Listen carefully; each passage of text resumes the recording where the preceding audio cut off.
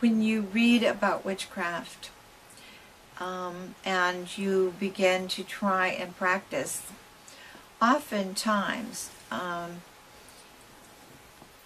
you're functioning without guidance. It truly is so much better, even though you need to read, um, to follow one tradition rather than to being eclectic. And it's wonderful to read about all religions and all traditions, but you should follow one and find someone who can teach you and um, help you out. Uh, most traditions do not teach in the way we do.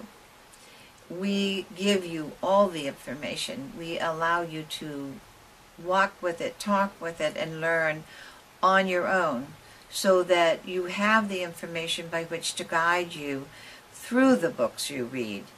But you must practice. You must practice.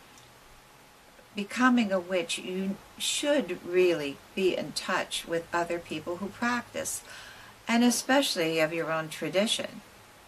And sometimes it takes time to choose a tradition.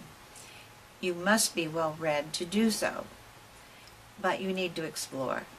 You really need to explore all the traditions and find the one that resonates to you, that makes you connect to all things and all spirit, and helps you to balance and be practical with your magic. The tools of witchcraft are something you should learn about.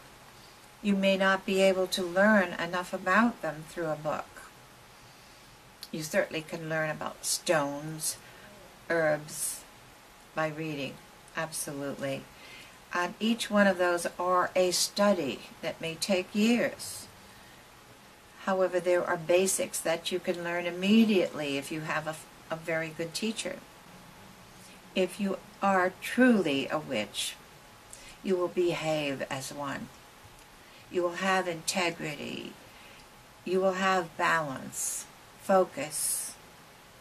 And your personal power is important because it's to be used in a very good way. That power is to bring goodness to the world, to yourself, and all that surround you. You should be proud of yourself as a witch. Stand up for what you believe. It is a religion. It is a path. It is an art and a science. All those things empower you and the world. If you choose to be a witch, please be dedicated